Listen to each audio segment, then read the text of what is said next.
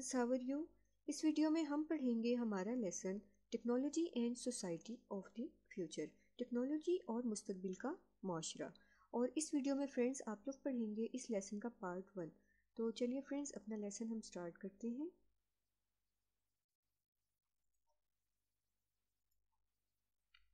The 21st century is the century of sophisticated technology and science. इक्कीसवीं सदी जो है, कहते हैं वो जदीद और आला टेक्नोलॉजी और साइंस की सदी है। Technology and science begin to make progress in the seventeen century कि टेक्नोलॉजी और साइंस ने तकरीबन सत्रहवीं सदी में ही, जो है सत्रहवीं सदी में ही क्या है, तरक्की हासिल करना शुरू कर दी थी।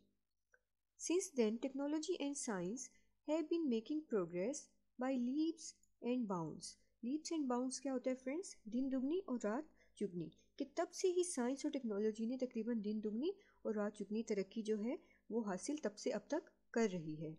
New inventions and discoveries in the numerous fields have brought a revolution in the life of human beings. कहते हैं कि नई जो दरियाफ्तें हैं और नई ईजादात जो हैं, बहुत से शोबों में, कई फील्ड्स में जो हैं इंसानी ज़िंदगी में रेवोल्यूशन इनकलाब ले आई हैं in the life of human beings इंसानों की ज़िंदगी में। यानी कि बहुत सी शोबों में नई नई ईजादात हुई हैं और नई जो दरियाफ्तें हैं, उसने इंसानी ज़िंदगी में इनकलाब बर्पा कर दिया है।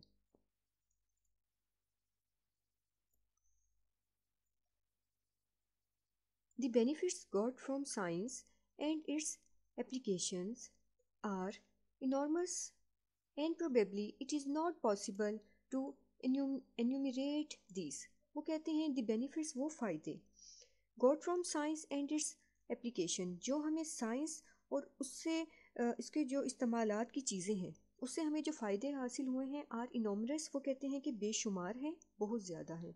एंड प्रोबेबली और शायद, यह हमारे लिए मुमकिन ही नहीं है कि हम उनका शुमार कर सकें। हाउ एवर ताहम इट इज़ बियॉन्ड डाउट कि यह बात शक से बालातर है that science has helped a great deal in developing self confidence, self esteem, and courage in human beings. कहते हैं कि साइंस ने क्या किया है? Science has help a great deal science ने हमारी जो है मदद की है किस चीज़ में? डेवलपिंग बढ़ाने में. क्या बढ़ाने में मदद की है? हमारे अंदर खुद एतमादी बढ़ाने में सेल्फ इस्टीम खुद बीनी हमारे अंदर बढ़ाने में करेज हौसला ये सब कुछ पर इंसानों के अंदर परवान चढ़ाने में साइंस ने बहुत हेल्प की है। नाउ अब owing to scientific and technological advances कहते अब जबकि हम साइंसी और तकनीकी तरक्की की वजह से हम उसके मालिक हो चुके हैं man is not at the mercy of his environment इंसान जो है ना, वो अब अपने माहौल के रहमो करम पर नहीं है but he has the capability लेकिन अब उसके अंदर इतनी सलाहियत पैदा हो चुकी है टू कंट्रोल कि वो कंट्रोल कर सके, काबू कर सके एंड मॉडिफाई और ढाल सके। क्या ढाल सके?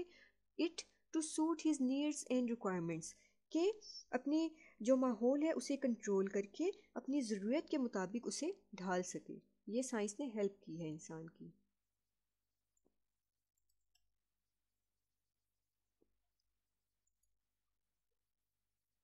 प्रीवियसली पीपल पिछले दौर के यानी कि माजी को जो लोग थे बिलीव्ड इन सुपरस्टिशंस वो यकीन रखते थे सुपरस्टिशंस होते हैं वहम परस्ती पे, बहुत ज़्यादा वहम परस्ती पे यकीन रखते थे and in certain super natural forces और कुछ ख़ास किस्म की सुपर नेचुरल फ्रेंड्स होता है गैबी या नज़र ना आने वाली जो कुतें होती हैं, जो ताकतें होती हैं, उन पर यकीन रखते थे for the control of their future अपने मुस्तबिल पर काबू पाने के लिए। People also use to believe in magic and fortune telling अब लोग क्या करते थे? मैजिक कहते हैं, जादू को और फॉर्चून टेलिंग कहते हैं, किस्मत का हाल बताने वालों को। उन पर यकीन रखते थे पहले ज़माने में बहुत ज़्यादा। बाय अडोप्टिंग साइंटिफिक मेथड अब क्या हुआ कि साइंसी तरीके इख्तियार करने के बाद human beings are now more confident इंसान जो है वो अब बहुत ज़्यादा पूरे अतमाद हो गया है।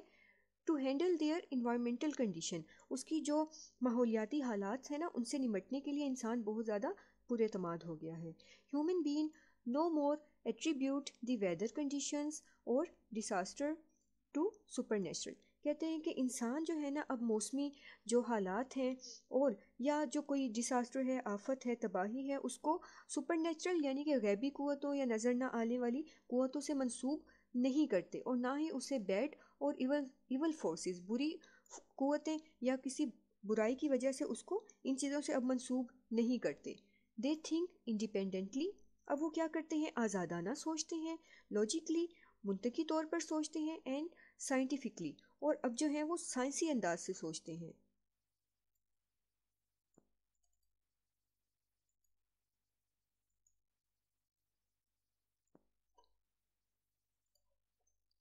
Before the discovery and development of modern medicine scientific equipment and instruments of surgery thousands of people use to die of diseases.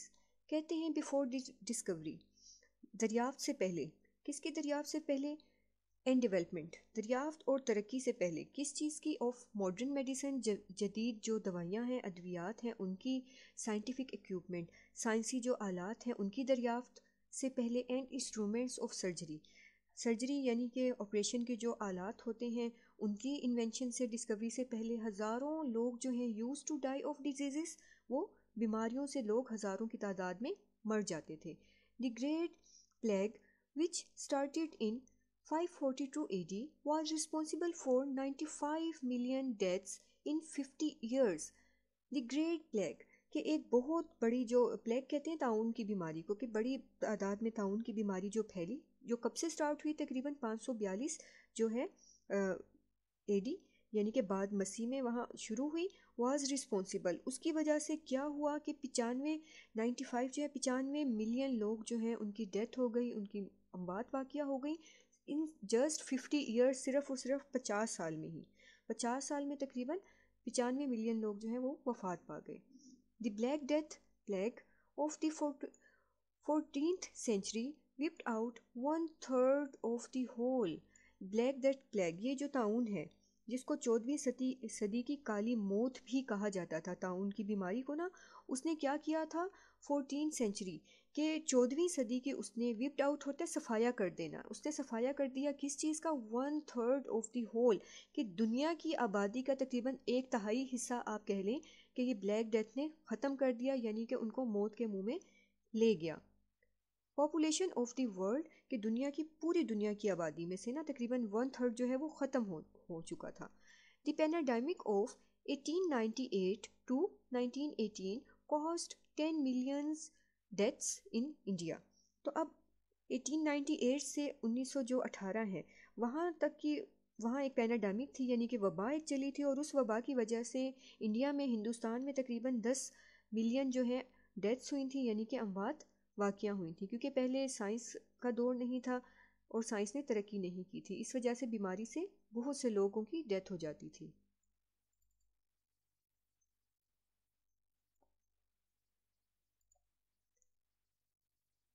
The influenza pandemic of 1957 killed 8,000 people in the USA only. Influenza की भी एक वबा उन दिनों चली थी उन्नीस सौ सतावन में।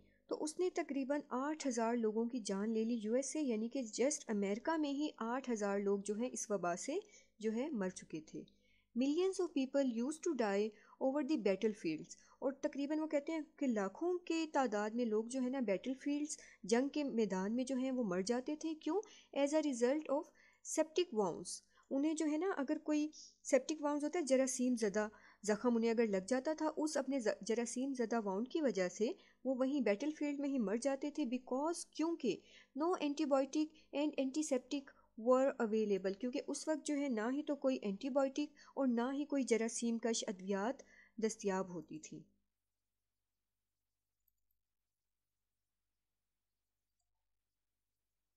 Now with the discovery of various medicines and revolution in the surgery कहते हैं कि अब जो है ना, बहुत सी वेरियस मेडिसिन बहुत सी अद्वियात की दरियाफ्त ने एंड रेवोल्यूशन इन सर्जरी और जो जराही यानी कि ऑपरेशन के मैदान में जो दरियाफ्तें हुई हैं, उसमें इनकलाब में डिस्कवरी यानी कि नई दरियाफ्तों की वजह से small pox is eradicated from the world small pox यानी कि चीचक की जो बीमारी है, वो दुनिया से तकरीबन जड़ से ही ख़त्म हो चुकी है।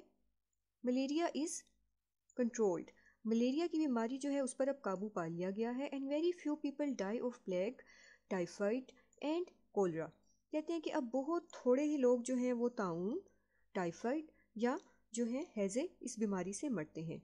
The discovery of penicillin by Alexander Fleming in 1927 कहते हैं कि पेंसिलिन की जो डिस्कवरी है, जो कि अलेक्जेंडर फ्लीमिंग ने कब की थी 1927 में, उसकी ईजाद के बाद revolutionised the treatment of infection and infectious disease उसकी वजह से क्या हुआ है कि इन्फेक्शन और इन्फेक्शन से फैलने वाली जो बीमारियाँ हैं, उसने, उसके इलाज में इनकलाब बर्पा कर दिया है। Some other discoveries have contributed as much that of penicillin and the antibiotics that followed to the health and welfare people worldwide और कहते हैं, इसी तरह से कुछ और दरियाफ्तों ने पेंसिलिन ही की तरह, पेंसिलिन दरियाफ्त होने के बाद जो है, दुनिया भर के लोगों की वेलफेयर के लिए यानी कि फलाह के लिए और लोगों की जो है हेल्थ पर, सेहत पर बहुत बड़ा अहम किरदार अदा किया है। यानी कि उसमें बहुत बेहतरी लेकर आए हैं।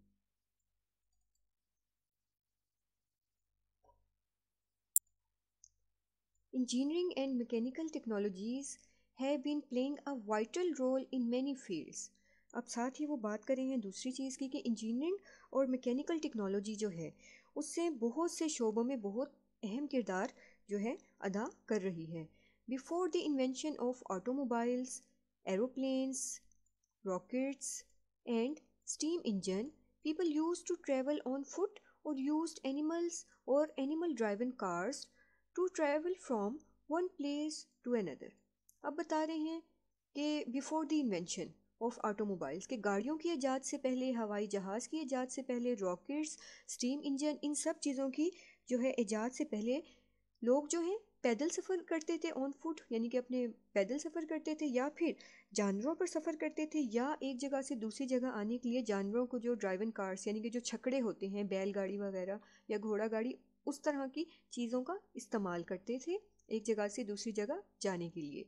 The speed was terribly slow as compared with that of today's travel कहते हैं कि आज के सफ़र के मुकाबले में ना, उनकी जो रफ्तार है वो खौफनाक हद तक बहुत ही आहिस्ता थी। अगर हम मुकाबला करें ना human being human beings had to tolerate hardships and suffering of the olden day travels इंसानों को ना कदीम ज़माने के सफ़रों की जो तकालीफ हैं और वो मसाइब, वो भी बर्दाश्त करने पड़ते थे। It took Marco Polo his father and his uncle Maffeo Polo three years to reach China from Venice Italy अब वो बता रहे हैं कि यहाँ पर कि मोरको पोलो उसके फादर और उसके जो चचा थे मर्फियो पोलो इन तीनों को थ्री ईयर्स तीन साल लग गए। कहाँ? चाइना से वीनस यानी कि इटली जो जगह का नाम है चाइना से इटली तक पहुँचने में तीन साल का अरसा लगा। यानी कि इतना लंबा ड्यूरेशन होता था एक जगह से दूसरी जगह। जाने के लिए। चीज़ों की ईजाद से पहले।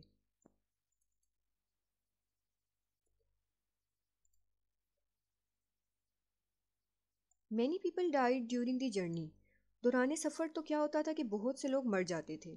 बट एट प्रेजेंट लेकिन अब मौजूदा ज़माने में the means of transportation have squeezed distance कि अब जो हमारे ज़राए आमदोरफ्त की अशिया चीज़ें दरियाफ्त हो गई हैं, उसने क्या किया? स्क्वीज्ड डिस्टेंस के हमारे फासले जो है ना, उनको घटा दिया है।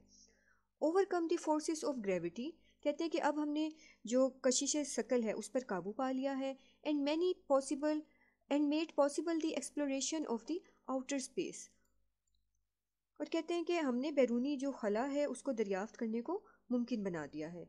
Man has reached the moon and is trying to reach other planets. आदमी ने कहते हैं कि इंसान यानी कि चाँद पर पहुँच गया है और दूसरे सयारों पर पहुँचने की कोशिश कर रहा है। Never was the world so completely integrated और reachable as it is as it is today कहते हैं कि दुनिया आज जितनी जो है हमारे रसाई में है काबिल रसाई है, हमारी पहुँच में है, आज से पहले कभी भी ऐसा नहीं था। Only in a few hours one can fly around the world to travel from one continent to another कहते हैं कि आज कल के दौर में सिर्फ़ चंद ही घंटों में कोई भी दुनिया के गिर्द उड़ सकता है और यहाँ तक कि एक कॉन्टिनेंट यानी कि एक बरस बर आज़म से दूसरे तक का सफ़र कर सकता है। Modern networkings of roads have really revolutionized the world and the day to day activities कि जो अब मॉडर्न नेटवर्किंग ऑफ़ रोड्स के जदीद जो सड़कों का जाल है ना रोड का जो जाल है, वो वाकई ही इनकलाब लेकर आया है किस चीज़ में उसने कहते हैं सचमुच की जो हमारी दुनिया है आज की और रोज़ डे टू डे कि रोज़मर्रा की जो एक्टिविटीज़ हैं, जो हमारी सरगर्मियाँ हैं, उसमें बहुत ज़्यादा इनकलाब बर्पा कर दिया है।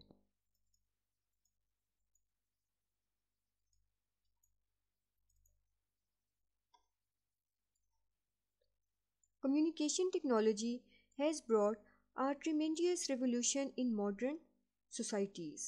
अब वो कह रहे हैं कम्युनिकेशन यानी कि जो ख़बर रसानी की जो टेक्नोलॉजी है, यानी कि एक जगह से दूसरी जगह रबता करना, उसने जदीद जो मॉडर्न हमारी सोसाइटीज़ हैं, जदीद माशरों में बहुत ही बड़ा रेवोल्यूशन यानी कि इनकलाब बर्पा कर दिया है a few scores year bags कहते हैं कि तकरीबन कुछ साल पहले it was very difficult for the people लोगों के लिए ये चीज़ बहुत मुश्किल थी of a country to get news letters information and knowledge from the other countries के एक मुल्क के लोगों के लिए किसी दूसरे मुल्क में रहने वाले अपने रिश्तेदार या रिलेटिव से किसी भी किस्म का आप कह लें न्यूज़ यानी कि ख़बर लेटर्स खतूत इंफॉर्मेशन मालूम या कोई भी इल्म हासिल करना बहुत ही मुश्किल था।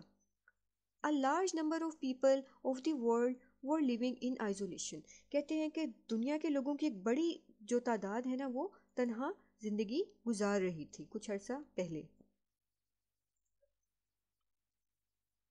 Now owing to efficient media and quick means of communication all the nations are constantly in close contact with one another कहते हैं कि आजकल जो है ना ऑनिंग दी एफिशिएंट मीडिया कि हमारे पास ये जो ख़बर रसानी का जो टेक्नोलॉजी है वो and quick mean of communication और हमारे पास जो पैगाम पहुँचाने का, यानी कि मौसर ज़राए अबलाग कह लें, और पैगाम पहुँचाने के जो ज़राए हैं, इसके तेज़ ज़राए की वजह से ऑल दी नेशन आर हमारी पूरी जो कौम है, एक दूसरे के साथ मुसलसल रबते में है।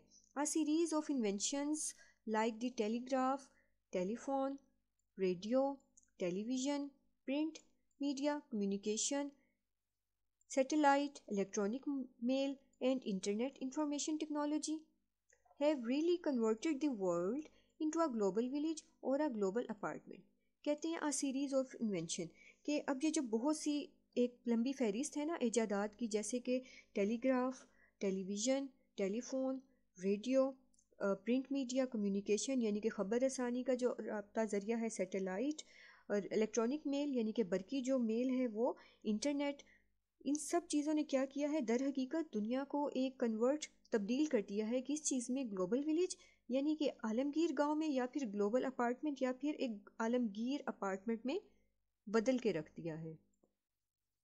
फ्रेंड्स यहाँ पर हमारे लेसन का पार्ट वन कंप्लीट होता है। लेसन का बाकी पार्ट पढ़ने के लिए आप पार्ट टू वाली वीडियो देखिए।